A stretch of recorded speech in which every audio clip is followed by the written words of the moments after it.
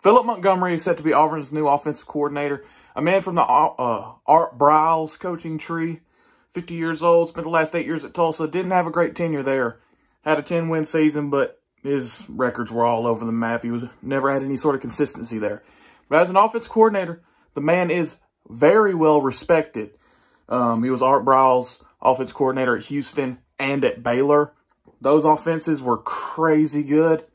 If you remember the 2013 Auburn offense, kind of similar to that, but it was every single year. They did a very good job in the uh, ground game. That's what they were known for. Um, Art Briles obviously had a great offensive mind. Not a very good person. I hope Philip Montgomery is a better person than Art Briles ever was.